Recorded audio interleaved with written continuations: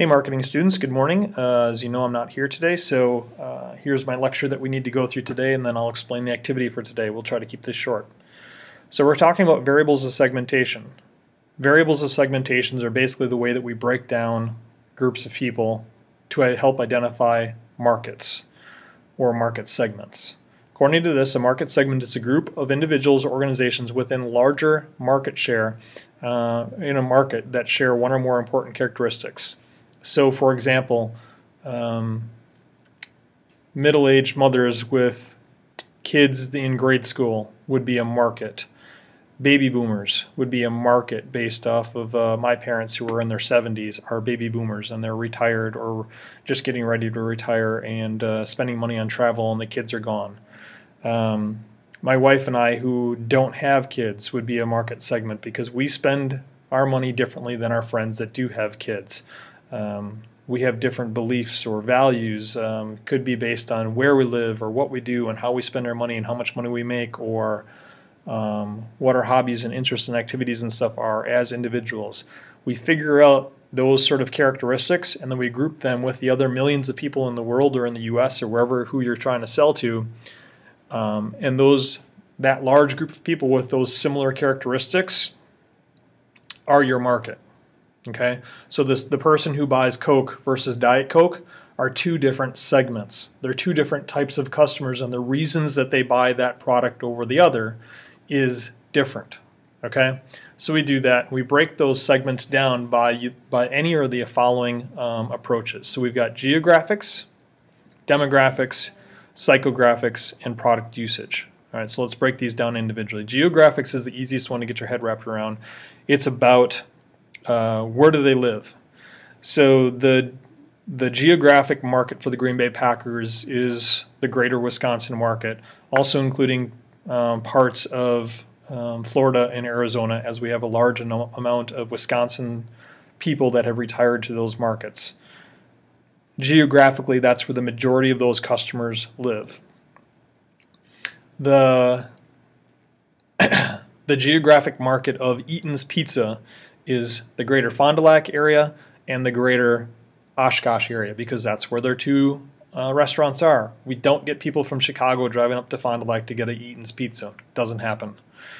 Um, the Fox River Mall, which we'll talk about, the greater the the primary market for Fox River Mall customers is everywhere up from Green Bay all the way over to Wausau um, to the to Lake Michigan and down just outside of Fond du Lac.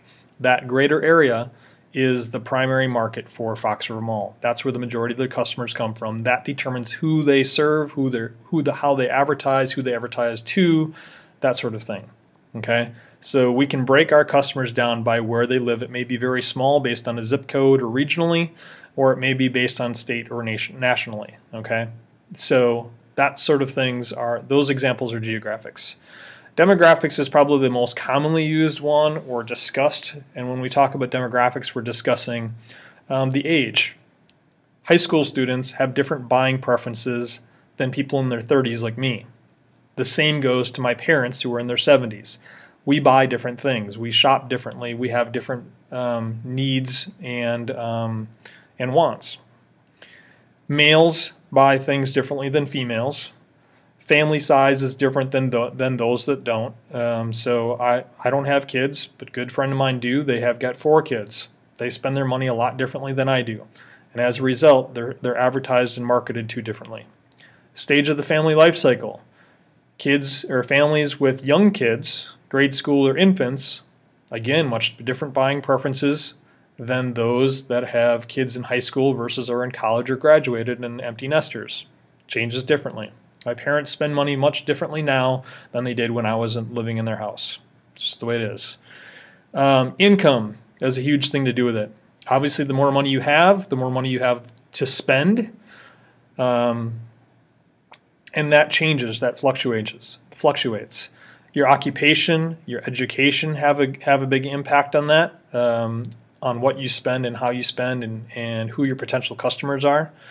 Um, your religion may have a huge impact. Look at Hobby Lobby and how their religion impacts their business and the customers that shop there. Chick fil A had the same sort of um, considerations. Some stores are not open on Sunday because of religion. Others are. Uh, it's just a difference in um, in facts. Uh, and then nationality, race, and ethnicity.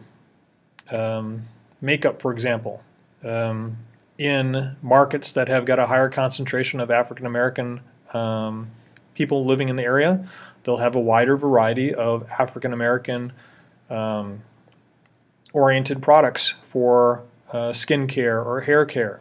It's a different market. They have different needs. Therefore, they, they will offer products and services that best fit those customers. That could have to do with um, with food as well. Um, how many uh, Mexican restaurants do we have here in, um, or Mexican Hispanic uh, stores do we have in Fond du Lac versus in a highly populated uh, Hispanic neighborhoods, maybe um, south of here? That could be different also. So that's demographics. Psychographics is a little different as also. It's a different way to think about it. That is your social class, upper class, middle class, lower class. Um, that may be based on geography also. Typically, people sort of flock together. So you may have lower income pockets within certain cities, and you have higher income populations of suburbs or things like that. Uh, your lifestyles uh, and your activities and interests are very um, segregating, per se. So, my lifestyle, uh, I do a lot of outdoor activities, so I do a lot of mountain biking and skiing. That defines what I, what I purchase and my interests and habits and activities and where I spend my money and how I spend my vacation money and things like that. Uh, voting parties, demographic, or your Democrats versus Republican versus say Independent has got a huge impact. Um, there are a number of people that may not even support certain companies because they either support or don't support their voting parties or their um, elected officials that has a big impact to it. And opinions go along the same way also. So that's psychographics. It's getting in your head and what do you think and why do you think that way and how do you how does your perceptions of what you think affect what you buy. And the last one is product usage. So you got again we've got geographics, demographics and psychographics. The last one is product usage. That is how we use the product. Um, and our consumer knowledge about that product and our response to the marketing mix and our loyalty. I'm a pretty loyal customer for certain products. Um, one of the brands I really enjoy is called Patagonia. They make uh, outdoor clothing company. Uh, they're an outdoor clothing company. They're very dedicated to the environment, which I'm, um, which defines me psychographically, and uh, they also have a very high quality product that I will only have to buy once, and I know is going to last me 10, 15 years it's very expensive. I know I'm going to pay twice as much as something else for it, but if I but if it's going to last me twice as long, I know it's going to last longer and it's going to be better for me longer long term. So I'm loyal to that product because of it. Um, and there's a lot of products that I sort of feel that way. Some people feel that way about Chevy versus Ford versus Dodge, that sort of thing. Um, I think I mentioned this about Hummer uh, utility vehicles uh, when those were popular a number of years ago. The average person for those used those products um, to primarily go shopping versus off seas. I'm recording a video. Give me a minute. So your user your user status and how you're using those video or how you're using those products are really important to define your product usage. All right, let me explain your project for today. You've got two sets of activities. The first one is um, identifying the differences between Coke Zero and Pepsi Max.